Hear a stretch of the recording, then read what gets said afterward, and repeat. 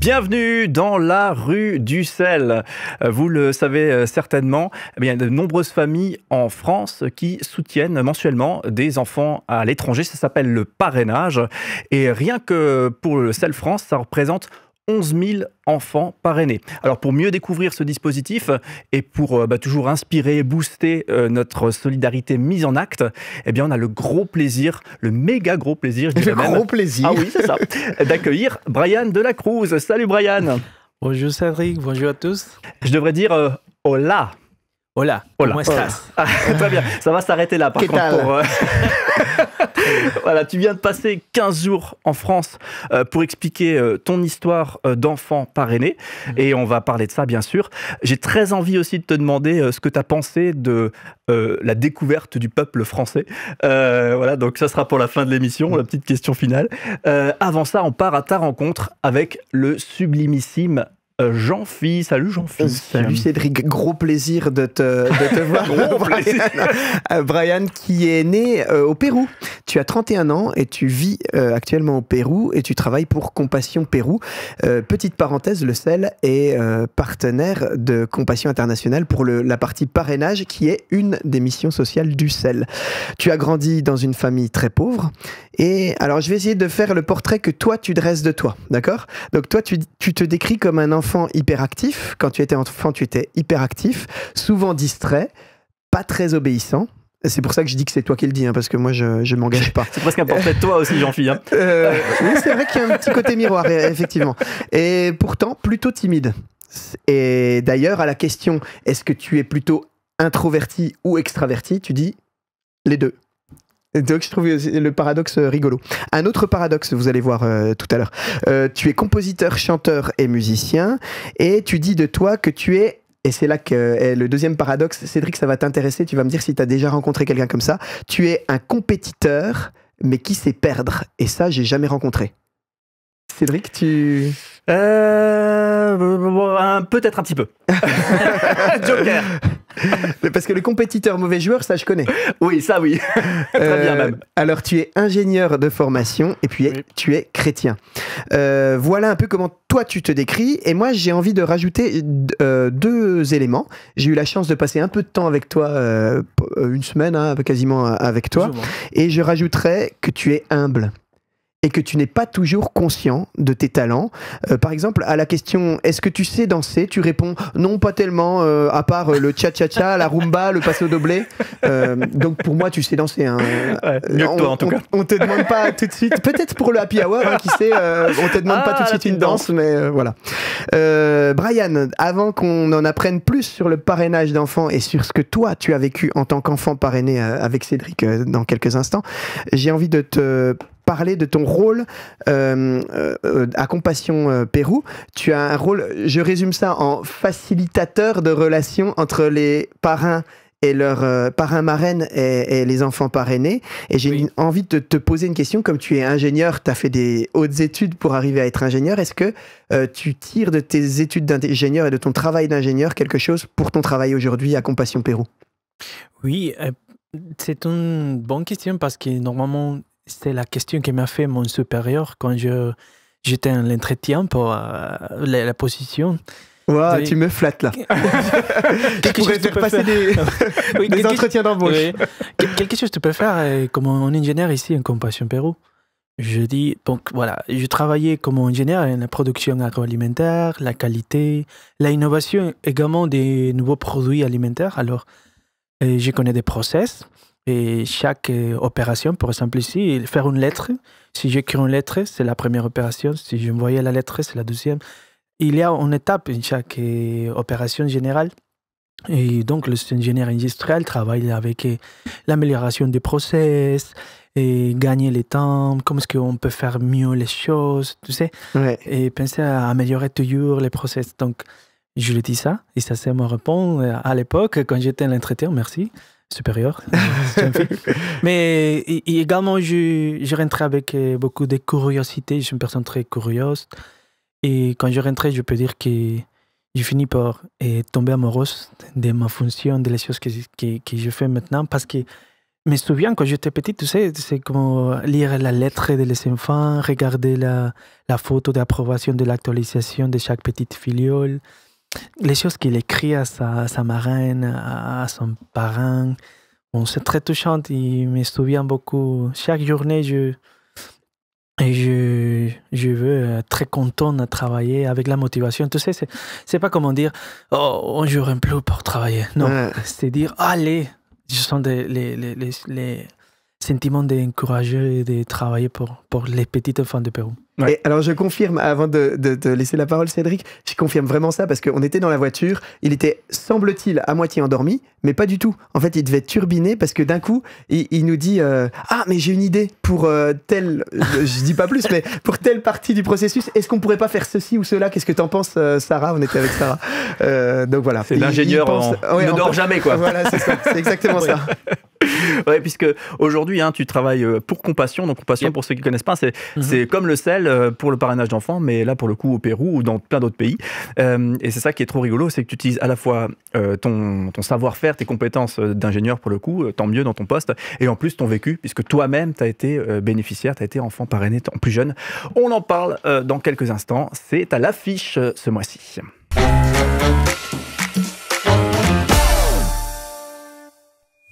Alors Brian, quand on te parle justement de ce parrainage, toi tu as été suivi, tu as été accompagné euh, par des parrains, marraines, euh, dès l'âge de 8 ans jusqu'à finir ton, euh, diplôme d'ingénieur, hein, donc il y a eu différents dispositifs, etc.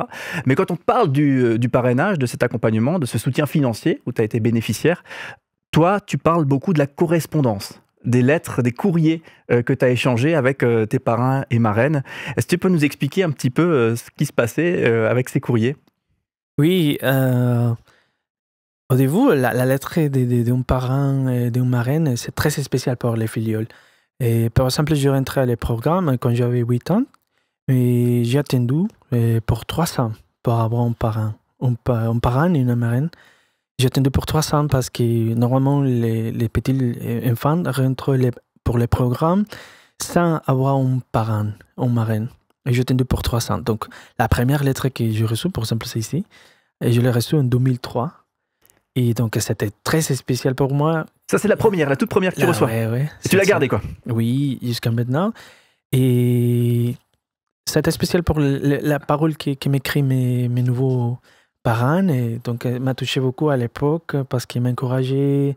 Il m'a dit Je prie pour toi je pense, toi, ta famille et ta vie, ça va ta santé, quelque chose tu fais à l'école, etc. donc, à début, c'était une chose un peu bizarre, mais après de la deuxième, troisième, quatrième lettre, déjà, ça formait une relation entre mes parents et, et moi. Non? C'est super intéressant. Euh, et on voit d'ailleurs la photo, hein, donc euh, je pense qu'ils ont, ils ont mis un petit peu la, photo de la famille hein, qui, te, soutenait. Euh, et ça doit, être, ça doit faire bizarre pour un enfant de, 11 ans comme ça, de se dire tiens, ces gens que, que je connais pas, là, ils m'écrivent un courrier, ils me soutiennent chaque mois financièrement, et ils me parlent, ils me demandent si tout va bien. Et puis toi-même, j'imagine que tu leur écrivais, tu leur parlais de quoi Tu leur parlais de, tu me disais de un peu de sport, hein, c'est ça? Oui je l'ai partagé sur les choses que j'aimais à, l'époque, comment faire du sport et jouer avec mes amis. Et donc, euh, ça a formé une, relation, comme j'ai dit, euh, qui a grandi chaque euh, année. Et je pense que quand j'étais petit enfant, c'était un peu difficile pour moi. C'était très désobéissant, comme déjà m'a décrit Jean-Pierre, bien sûr. Et, mais j'ai reçu les, les paroles d'encouragement. Tu sais, c'est comment recevoir une chose, c'est l'amour, la compréhension. C'est, je peux dire, la, grâce de Dieu est, ta vie, non? Et donc, euh, ça m'a touché beaucoup à l'époque. Et, donc, les, temps que je partageais avec mes parents, à, mes parents, a été très spécial pour moi. Ouais.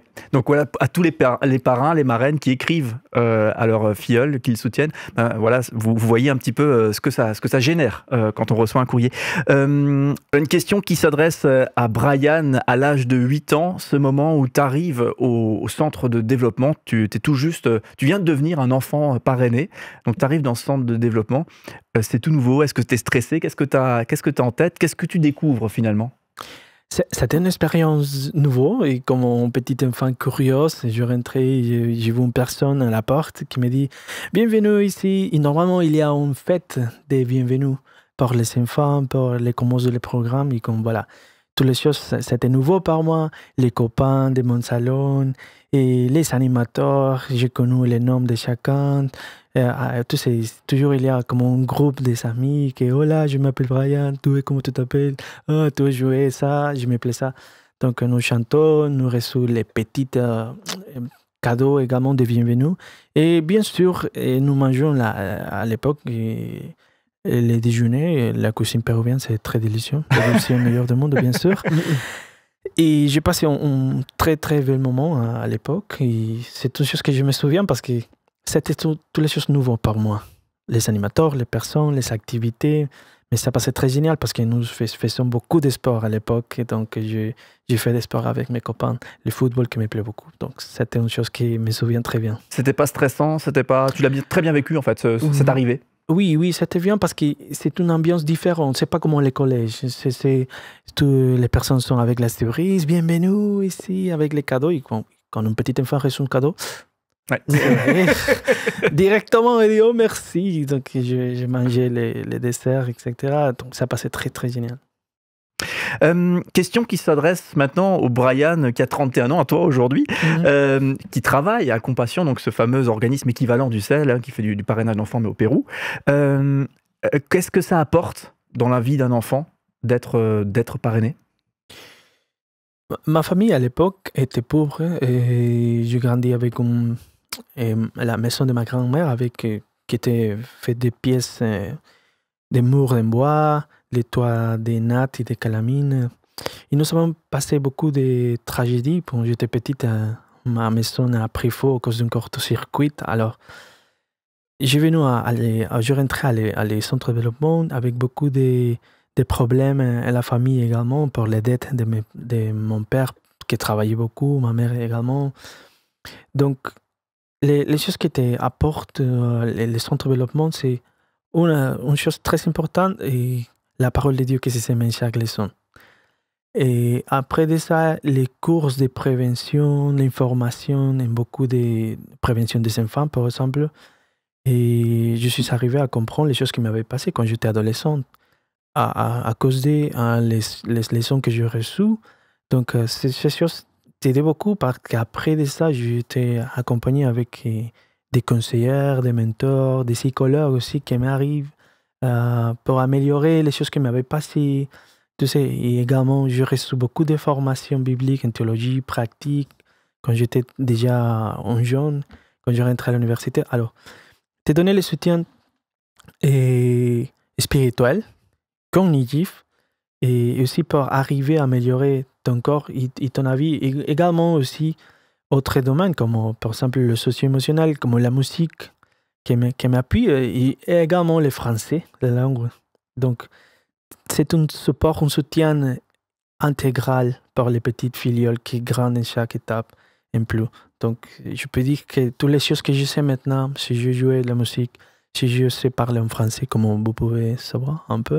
Mon accent un peu difficile, un peu mm. différent peut-être. Non, c'est très bien. Pas québécois, mais, mais euh, j'ai appris pour le soutien d'un parent, d'une marraine qui, m'a donné son appui euh, avec les parrainages. Et donc, toutes les choses que je sais jusqu'à maintenant, qui s'est développé en moi, qui m'a formé, qui m'a apporté, sont merci à, les parrainages. Pour ça, je peux dire, et vous n'imaginez pas tout le bienfait du parrainage. Ouais. Si, si tu n'avais pas été euh, à l'âge de 8 ans, euh, justement, dans ce parcours, donc enfant parrainé, qui intègre un centre de parrainage, un centre de développement, pardon, si tu n'avais pas eu ça, qu'est-ce qui aurait été différent dans ton existence?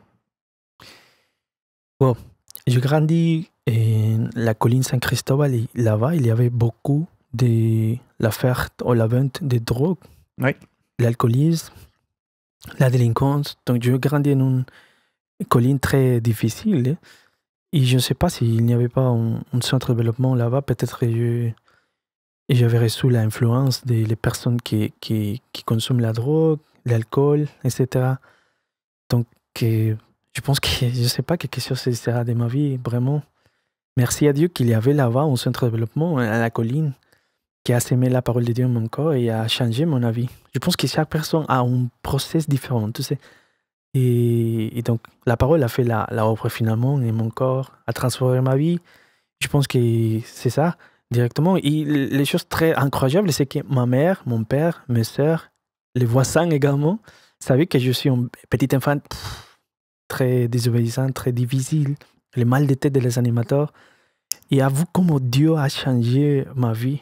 Et maintenant, je pense qu'ils sont très étonnés de, de les choses que, que les seigneurs, que Dieu a fait avec une équipe, dans centre de développement, mes parents, qui m'a donné le soutien et, et, et Compassion Cell. C'est vrai qu'on comprend mieux aussi pourquoi certainement tu as eu envie de bosser aussi, de travailler pour Compassion, euh, puisque bah, faire bénéficier à d'autres de ce que toi-même tu as, reçu.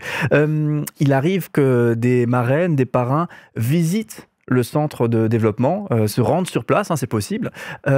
Et alors, les enfants, toi, tu disais que c'était une, grosse fête, hein, c'était la teuf à chaque fois qu'il y avait parrain et marraine qui débarquaient. Oui, si un parrain ou une marraine arrive à le centre de développement, littéralement, c'est comme si viendra euh, un acteur de Hollywood. ça arrête toutes les choses comme les petites filles sont ah, sa marraine arrivé. Quelque ah, chose viendra, quelque chose dit. Il a les cheveux noirs, euh, blanches ou des couleurs. Il a les, non sais, il est venu avec un cadeau spécial, je ne sais pas, ils sont comme, tous les filles sont proches des petits enfants parrainés les questions, comment est-ce qu'il s'appelle ta marraine? Mm. C'est un événement très, très, très spécial. Tu peux dire, si c'est bien la phrase, c'est un rêve qui s'est fait réalité. Donc c'est incroyable. Bah, malheureusement, je ne passais pas ça. Mais j'ai vu à, mon centre de développement comment est-ce qu'il s'est passé cet événement. Et euh, ça a été très touchant. Et toi-même, tu n'as pas été visité par euh, ton parrain, ta marraine, euh, mais effectivement, tu voyais les autres enfants euh, et des visites de certains euh, parrains et tu, tu, voyais la fête que ça générait. Parce que ça questionne, hein. moi je me demande, tiens, comment vivent les enfants si parrain, marraine se, se déplacent Est-ce que c'est est -ce c'est un truc bizarre ou est-ce que effectivement c'est vraiment la fête? Bah, Ça fait plaisir d'avoir ton, ton, point de vue là-dessus. dernière, dernière question en, lien avec ce que je demandais tout à l'heure. Hein. tu as passé 15 jours en France pour expliquer hein, justement le parrainage, pour inviter les gens à, qui le font peut-être pas encore, ben, à devenir parrain.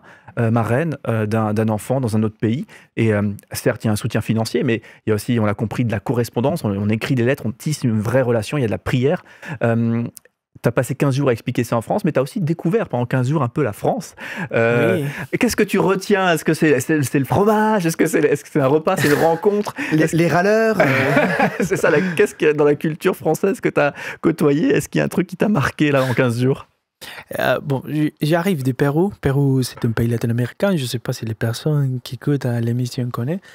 Approche du Brésil, Chili. Je dis euh, que Pérou a la deuxième euh, meilleure nourriture du monde parce que la première, c'est bien sûr la France. À la bonne heure. Allez, Allez ça rassure tous les. Il le dit quand il fait ses soirées témoignages, il le dit et t'as toute la salle qui est toute rassurée. Ah oui, oui, c'est ah. vraiment la France. Hein. Et voilà j'ai passé beaucoup de jours à partager avec euh, chaque groupe, église, rendez-vous, entretien. C'était une chose que je peux dire, et c'est vrai que j'ai connu les vertices, les autres points d'un triangle parfait. Tu sais, là-bas, euh, la part des hautes, c'est les partenaires global, comme au Compassion Cell. À côté, on va, c'est les centres de développement. Et pour l'autre lieu, c'est le bureau de Compassion Pérou. Travaille parfaitement. Un triangle équilatère. La perfection. C'est l'ingénieur qui parle. je connais comme une petite filiale ancienne parrainée. C'est par comme les centres de développement.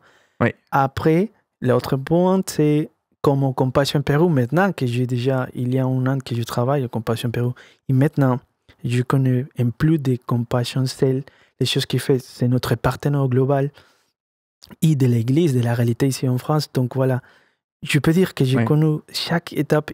Ah, c'était une, expérience très riche par moi, pour connaître un peu comment ça fonctionnent les choses. Comment, pour ça, je donnais beaucoup d'idées. On pense qu'il peut améliorer mmh. ici, pour là.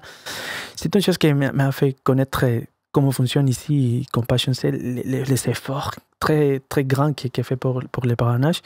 Également aussi la culture des chrétiens en France. Chaque église est des différents domaines, qui, qui baptiste, mennonite, protestant. La liste est longue. Hein. Mais très intéressant, très intéressant. bon, voilà. Très bien.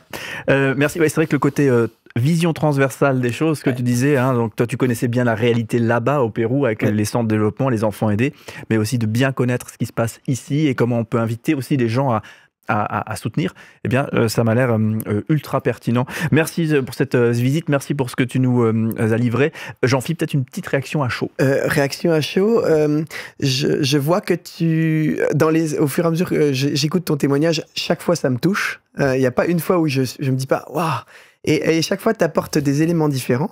Et, j'aimerais bien que tu nous dises juste comment tu as vécu. On a évoqué le courrier tout au début, euh, et tu as, montré le côté idyllique, idéal du, du, courrier. Est-ce qu'il y a quand même un moment où, euh, où c'était quand même une corvée, comme tous les enfants? Est-ce que tu es un enfant normal? C'est-à-dire que euh, il faut que tu écrives à ton parrain ah, J'ai pas envie, la flemme. Est-ce que c'était comme ça au début, ou est-ce que ça a tout de suite été bien? Non, au début, quand j'étais petit enfant, je, je n'aimais pas écouter à mes animateurs, je n'aimais pas prier.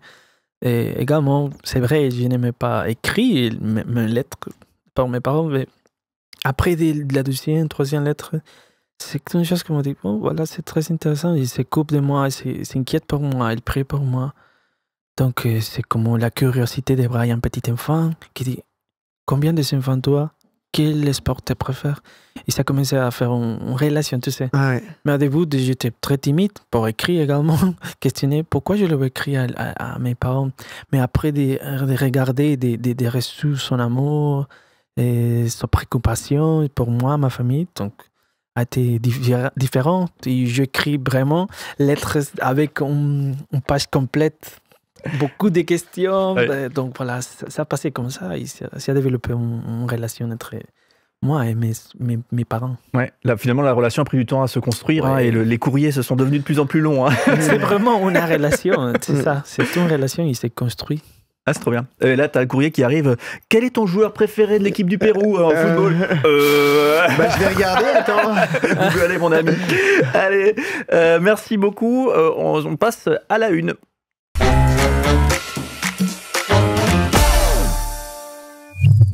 Alors, pour euh, cette, euh, cette euh, une, j'ai envie de te poser une question, Cédric. Ah, Est-ce que tu m'autorises à te challenger comme ça, en direct, comme ça, cash Et on y va. Ouais, bon, bah alors ça, ça viendra après. Mais tu vas très vite comprendre le but de ce que je te dis. Alors, comme ça ne vous a peut-être pas échappé, mais j'ai troqué ma chemise de gendarme contre, contre un t-shirt. Pourquoi? Parce que je vais vous parler aujourd'hui de quelque chose que vous connaissez peut-être, surtout si vous avez suivi la première saison, la course des héros. Alors, pour rappel, pour ceux qui n'ont pas suivi la première saison de la rue du sel, Laura m'avait challengé euh, gentiment, hein, en m'invitant à m'inscrire. Et puis, on n'avait jamais donné suite. J'avais dit oui, oui, sur le plateau, comme ça, facile. et pas fait. finalement, si, j'avais ah. fait. Et j'avais fait avec ma femme la version connectée, c'est-à-dire dans ma région. Euh, j'avais fait la course des héros et j'ai passé un super moment. C'était vraiment un bon moyen de, de, passer à la fois un moment convivial, ludique et en même temps pour euh, aider les partenaires du sel les partenaires locaux du sel, euh, à ce moment-là, ça nous met en route et puis ça nous mobilise un peu parce que finalement, le fait de faire quelque chose physiquement, euh, on a l'impression de participer. Euh, alors comment ça marche? Je, vous le dis parce que moi c'était un peu abstrait hein, quand on m'a expliqué, quand Laura m'a expliqué sur le plateau, j'ai dit oui oui, mais bon, voilà. Pas quoi tu quoi. Très concrètement, il y, a, y, a, plusieurs façons de faire la course, soit chez soi ils appellent ça connecté, je crois. C'est pas connecté, on n'est pas derrière un portable, hein, c'est euh, à distance, à distance. Euh, ou alors participer à une course physiquement. Euh, et, on s'inscrit et on, en parle à ses amis, sa famille, euh, même ses ennemis, hein, euh, pourquoi pas, si on en a. et puis on, leur dit, hey, vous vous mettriez pas quelques euros pour m'encourager à faire la course, etc. Et c'est comme ça qu'on collecte des fonds. Je vais vous donner quand même les chiffres de 2023 parce que c'est quand même intéressant. Il y a eu 67 coureurs de Paris à Lyon, en passant par Perpignan, Rambouillet, Dambenois et ou encore Creuseil. Ah. Cruseil. Cruseil. Ah, si Cruseil s'y est mis, c'est bon. si Cruseil s'y met, vous pouvez vous y mettre. et, euh, et, ils ont récolté un, chiffre record euh, qui était de 40 141 euros. Euh, et on vous invite à battre ce record pour 2024. Ce sera donc en juin. Et euh, le projet, les projets qu'on veut soutenir par cette course, c'est. Alors, il faut que je retrouve. Tac, tac, tac, tac. comme j'ai tout fait à l'envers, il faut que je refouille dans mes, mes, papiers. C'est lié à l'eau. Euh, on avait parié en plus. Voilà. Ce sera en juin. C'est lié à l'eau. Euh, on propose de donner un accès à l'eau pour les communautés très Mm. pauvres, euh, des puits et des sanitaires, par exemple au Togo ou au Congo. L'eau est devenue un bien précieux et rare euh, dans un grand nombre de pays pauvres, euh, chez nous, mais aussi dans un, grand nombre de pays pauvres, euh, où interviennent nos partenaires locaux euh, chrétiens. L'accès à l'eau, c'est indispensable, bien sûr, pour boire, se laver, mais aussi pour les projets agricoles. Et on peut l'oublier, nous, on a tellement l'habitude d'avoir cet accès. Et l'eau, en gros, c'est la vie. Donc, si vous courez pour la course des héros, vous allez soutenir des projets et vous allez donner très concrètement l'accès direct euh, à l'eau à des personnes. Et le challenge, voilà, je termine par On y le arrive. challenge. Mince, je crois que t'avais oublié. Cédric, est-ce que tu ferais pas la course des héros avec moi cette année Oh, et carrément pas, pas euh, à distance, mais qu'on s'inscrive à la course Je te demande pas de répondre tout de suite, ce serait trop vache. Par contre, je vais y réfléchir. réfléchis-y, on en reparlera dans une autre émission ultérieure. Eh ben, Pour plus de renseignements, selfrance.org. on parlait de compète, hein, mais moi j'ai un peu la compète hein, dans le sang, hein, donc euh, j'en fiche. Il va me laisser au bord de la route. Ah bah, avec Brian, on va te challenger. On va, on va te laisser au bord de la route, exact. Bref, ouais, super, trop, trop bonne idée. Euh, On n'a pas besoin d'être un super grand coureur, hein, on n'a pas besoin Non, de non. faire une performance sportive, mais c'est un, un moyen de mobiliser son entourage sur une super cause. hein. Donc vraiment, informez-vous. Bien sûr aussi le site internet du CEL, euh, si ça vous a donné envie de parrainer un enfant ou peut-être un deuxième enfant, si vous êtes déjà parrain marraine, bah, n'hésitez pas à vous rendre sur le site internet du CEL, vous y retrouvez les informations justement pour euh, peut-être rentrer en matière, découvrir ce dispositif et peut-être devenir parrain, marraine euh, d'un enfant. Merci beaucoup Brian en tout cas pour ce témoignage super intéressant et euh, ben, on espère te revoir bientôt en France. Dégustation de fromage, etc. Que des trucs euh, qu'on fait ici. hein. Et bonne nouvelle, on le voit euh, dans l'Happy Hour. Ah, exactement, bah oui, bien sûr. Euh, Puisqu'on te retrouve le mois prochain avec les, les invités euh, des mois euh, précédents pour un dialogue croisé. Euh, donc voilà, ce sera l'occasion de, de papoter et de retrouver ton bel accent euh, plein de soleil qui nous vient du, du Pérou. Merci en tout cas d'avoir partagé ce moment avec nous. Bisous les amis, à très vite. Ciao.